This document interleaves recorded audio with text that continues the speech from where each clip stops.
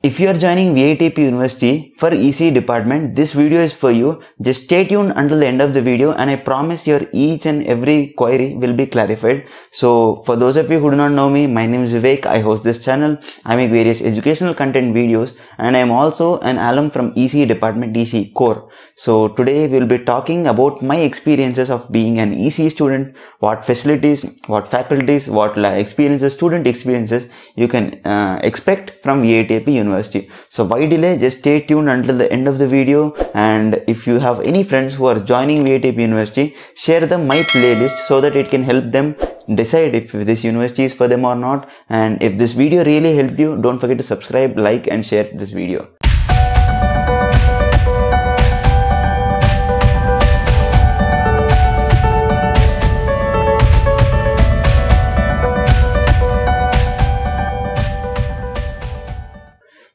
coming to this specific video, I'll be talking about the facilities, the faculty and my experience with all these people, all the faculties out there, the student environment, the placements and also a uh, few students asked me about a semester abroad program and I'll also be talking about that as well. Let's start off with the facilities out there. What facilities do we need as a student? Laboratory facilities, class facilities and the research facilities also placements and other things right? So coming to the facilities out there libraries uh, you you cannot expect every student to get a book right? It is not a shop it is a library. So books are quite good in number. You can get a book. And if all the books that are in the general section it uh, it's taken by everybody you can refer a book from the special section as well. You cannot lend those books but you can refer those in the library. So there is no shortage of books. There is also digital library out there and this criteria should be very clear. Few students ask me if there is even a library at a university.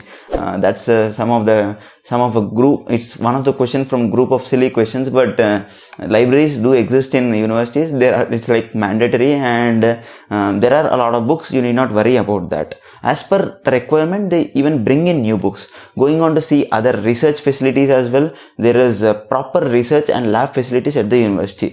Uh, lab facilities what happens uh, universities out there usually do not have much uh, licenses required for the students. They usually ask you to share the licenses with uh, two or three students bundled together.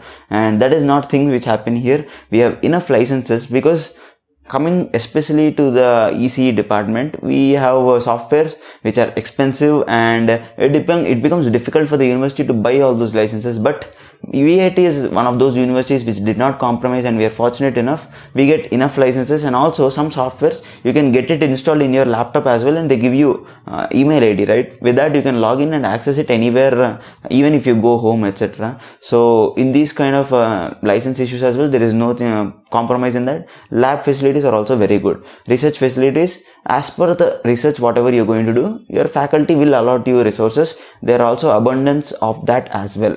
Going on to see the faculty quality as well. First, before going into the section, just go into the vitap.ac.in university website, go into the faculty, go into the department, whatever you're interested in. Just check out their qualifications. If you're really interested in deep, just go check out their LinkedIn profiles as well so that uh, you will understand how qualified the faculty are basically faculty are very good. They are decently qualified for a university um, professor to be and they will give you whatever is required right? Whatever is needed for you to be a student everything is there right? Teaching is very good. The way of method is very good. The student curriculum is very good. And you're going to have very good experience with the faculties some faculties are from the local language as well some faculties are from north indian uh, places as well. So there is going to be a mixture of everybody. And if you really want your doubt to be clarified you can speak with them in your local language as well. This is not a school right? There is no restriction in that. And so this is how things work. You can go clarify your queries later in personally as well. This is know, there is no restriction with that. And faculty is also very good. Uh, so this is how things work out. For placements placements related to ECE is very minimum what you need to understand for example if 30 companies come into placements only one or two will be of uh, ECE ones and other will be related to CSE that is uh, the fact I have explained in detail about my placements experience related to ECE, how I landed a core job at ECE in, uh, in the VITAP University. In this video, you can just go check that out.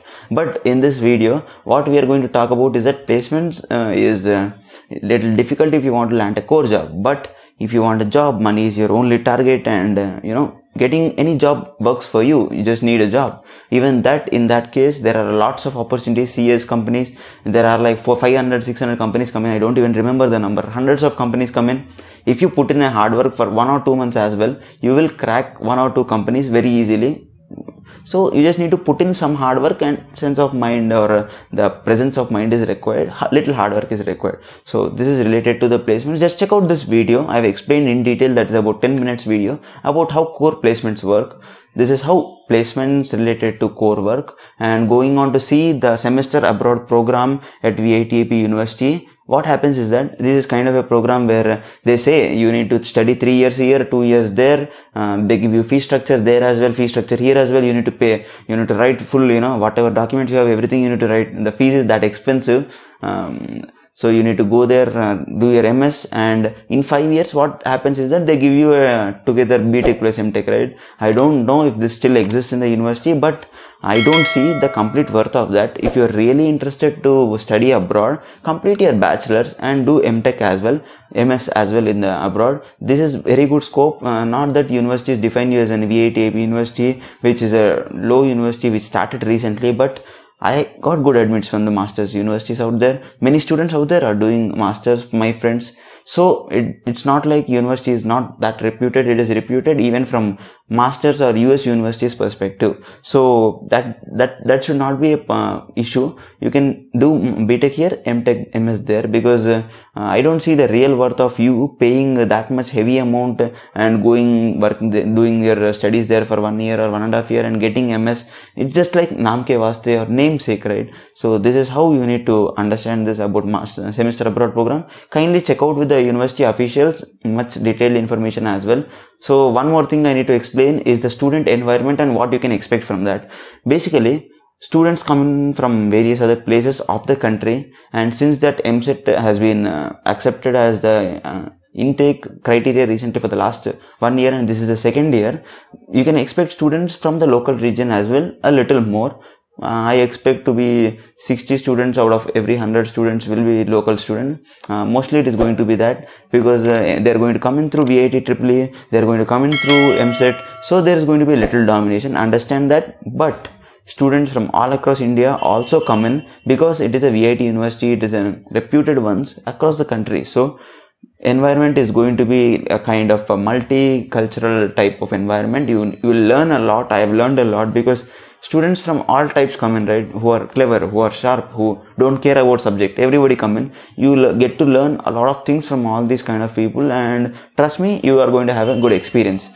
Not that uh, one thing you need to notice that there might be a little more density of local people because of the university's policies of taking in students from VIT, EEE and EAMCET as well. So that's it guys. These are the things you need to note and I have explained all my experiences of uh, being a student at EC department of VITAP University. If you still have any queries, just don't forget to comment your uh, query or you can just DM me on my Instagram and I'll be happy to reply each and every one of you. Thank you so much. This is Vivek signing off. Stay safe, stay informative. Bye bye.